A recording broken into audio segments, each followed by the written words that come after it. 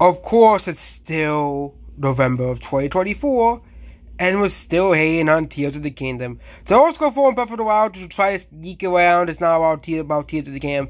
But we all know these guys, they're, they're always relentless about Tears of the Kingdom. It's funny, I've actually gotten a lot of views out of these Tears of the Kingdom videos. So go ahead, keep hating Tears of the Kingdom. This will give me more and more views because it's so funny that Breath of the Wild and Tears of the Kingdom are two of the most heavy and beloved Zelda games in the entire franchise. I get Zelda is a franchise with a lot of very beloved games, but those games are as highly reviewed as games like Ocarina of Time and Majora's Mask. No one compares them with Majora's Mask, which is ironic of these so-called Zelda fans. And then they had the Zelda Dark Age, where Twilight Princess actually never really been hated, but they also had Wind, Wind Waker, and I think the worst rated Zelda game is uh, Skyward Sword. But a lot of people love the two Breath of the Wild games. There's two of the most beloved Zelda games of all time. So all agreement that both of them are not proper Zelda games.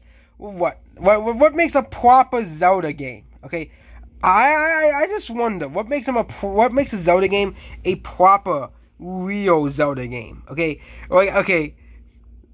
I just wonder, you know, what makes a proper real Zelda game. I just wonder what goes through these guys' heads every day. I'm gonna wake up today and make a hate fit about Tears of the Kingdom and what to the extent of the Wild, but I think most people hate Tears of the Kingdom, hate Breath of the Wild. They consider it the worst Nintendo game ever, the biggest disappointment in Nintendo history, you know, the worst game Nintendo has ever made, you know, blah blah blah. You know, these people are of course the minority, obviously, because the average score for Tears of the Game was like 8.6 which is actually a very, very high score for a video game. Breath of the Wild also had the same score as well, 8.6 as well. I think both games have a higher score than the and than the newer Zelda game, which is a 2D Zelda game they just released. You know, I I think that one's like around 8.2, but apparently these are not pro the, the so-called non-proper Zelda games, which are considered two of the best games of the entire series for how innovative they are and how unique they are. Oh yeah, these are not real Zelda games. Yeah, they're not real Zelda games compared to those supposed compared to the real Zelda games.